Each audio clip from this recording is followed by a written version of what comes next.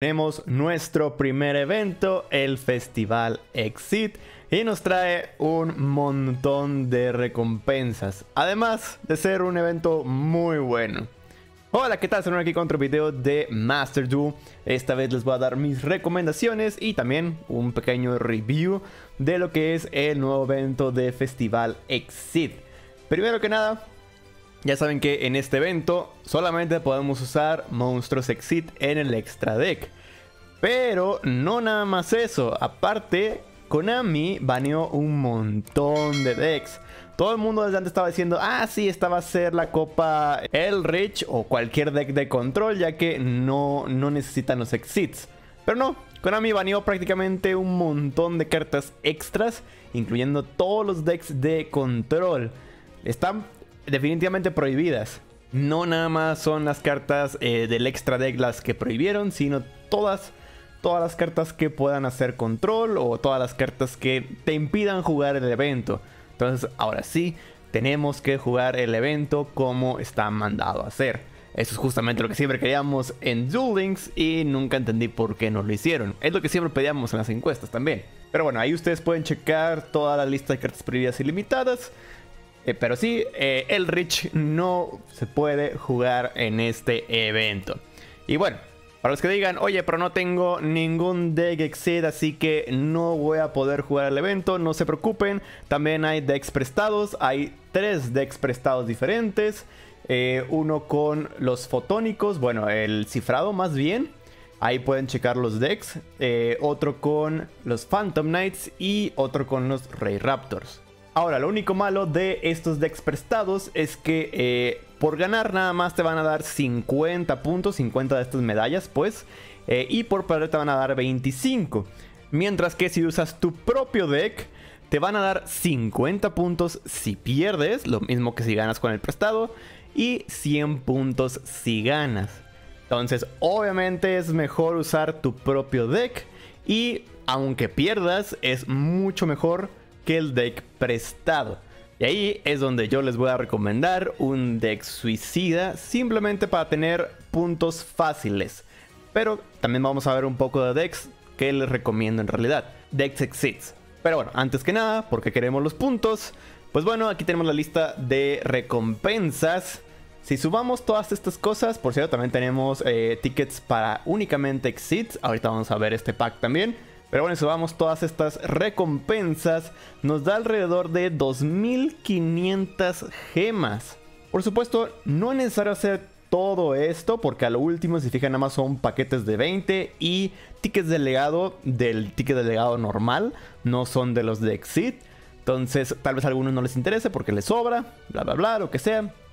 Entonces, en realidad, eh, hasta los 3200 es lo que realmente importa no es tan necesario llegar hasta los 20.000. Si fijan, nada más es eh, una quinta parte. Y esto lo digo porque para llegar hasta acá con puramente un deck suicida como yo lo voy a hacer, necesitas 400 duelos. Entonces sí es un montón. Pero bueno, tal vez sea la forma más sencilla. Ahora, estas no son las únicas gemas que tenemos. Tenemos aún más gemas, ya que eh, las misiones nos van a estar dando puntos, bueno, gemas, por simplemente estar jugando el evento. Primero tenemos las gemas diarias, todo eso. Y luego ahora sí, campañas. Compiten un duelo de exhibición. Todos los exhibición son el evento en sí. Se fijan, yo ya hice tres. Entonces por eso es que ya voy avanzado. Esas son las primeras gemas que vas a sacar. Las gemas más sencillas de sacar. Y ahí sí, como ninguno te dice gana, pues no hay ningún problema. Eh, luego es invocación especial. Igual, tampoco hay tanto problema por ahí. Dependerá del deck que usas cartas de magia, cartas de trampa y destruir una carta. Por suerte mi deck suicida sí logra hacer todo esto. Eh, lo que más se me va a complicar va a ser las cartas de trampa y obviamente no hago ninguna invocación especial. Tal vez aquí podría meter eh, algún exid o algo así, pero por el momento por puntos va a ser lo más sencillo. Y bueno, vámonos a ver lo que es el deck que les recomiendo. Bueno, el primer deck, el deck suicida. ¿Se fijan? Eh, aquí con este fondo ya sabes que esto se está usando para el evento. Ya sabes que esto va a tener la banlist. Entonces en el momento que entras aquí, si buscas alguna carta como Elrich o cualquier sincro, polvo de estrellas por ejemplo, eh, cuando los veas... Ah, de, hecho ni siquiera aparecen. Ah, qué raro. Pero bueno, sí, eh, aquí ya es para armarte el deck y concentrarte en las cartas que no están baneadas. Pero bueno, este deck es el deck Suicida, es nada más son unos cuantos ejemplos de cartas. Existen muchas más cartas. El objetivo del deck es ni siquiera hacer una interacción con tu oponente. Tú pagar todos tus puntos de vida, bajarte lo más posible y si es posible también matarte. Lo malo es que hay muy pocas cartas que te eliminen. Es ir rápido, aquí ya tengo un poco más de cartas para eliminar nosotros mismos, como por ejemplo el Kazaki, 2500 de daño fácilmente y te puede matar, también el Goku En, eh, también el artista amigo Saltarín y también Anillo de Destrucción. Hay, hay varias cartas que sí te pueden eliminar, entonces concéntrense más en estas porque con eso pueden terminar el duelo, además de hacer el daño que necesitemos. De todas maneras, en los comentarios les voy a estar dando otras recomendaciones, poco a poco voy a ir mejorando este deck. Ejemplo, Destrucción del Destino, si te puede matar, ya que tiene la palabra de recibe tanto de daño, igual, eh, ¿dónde está usted? Nada más es recibe. Entonces, entre más cartas tengan que diga recibe, esas son las cartas importantes que vas a querer activar hasta lo último, bueno, para matarte pues. Y todas las que sean de paga, como por ejemplo Mundo Toon, eh, apoyo de fusión cibernética. Todas esas son las primeras que vas a querer activar. Igual, hay varias, varias cartas que eh, pagan la mitad de puntos de vida. Entre más tengan ustedes, mucho mejor. Yo, por ejemplo, tengo esta SR, mapa de Piri Race, y me permite buscar cosas como Gandorra. Y Gandorra también paga la mitad de sus puntos de vida si es que puedes invocarlo. Por eso tengo el mausoleo para pagar otros 2000, invocar a Gandorra, pagar la mitad de puntos de vida y ya dejarme prácticamente muerto. Lo mejor de todo es que Gandora se quita, así que pues, el oponente dice, ah, ok, prácticamente te mataste solito, ¿ah? Nada más invoco un monstruo, pum. Es como en DL que muchas veces se pueden hacer todo su combo. Lo malo aquí es que si alguien se pone a hacer todo su combo, va a ser un combo súper largo. Pero bueno, supondré yo que aquí es porque la gente le piensa doble y dice, pues es que mi combo va a durar como 20 minutos, así que mejor de una vez te ataco nada más con un solo monstruo ya, al cabo que ya gané.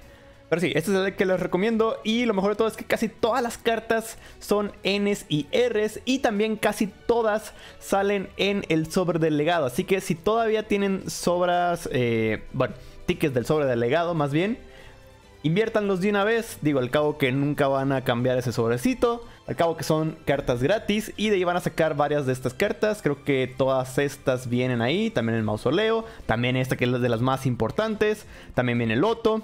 Entonces sí, e-, ese va a ser su sobre. Si no sacan las cartas, porque de hecho yo invertí todos mis tickets y aún así nada más saqué como una copia de cada carta. De todas maneras, son nada más tickets Ns y Rs, así que yo creo que eso les va a estar sobrando, no hay tanto problema. Inviértanle y listo.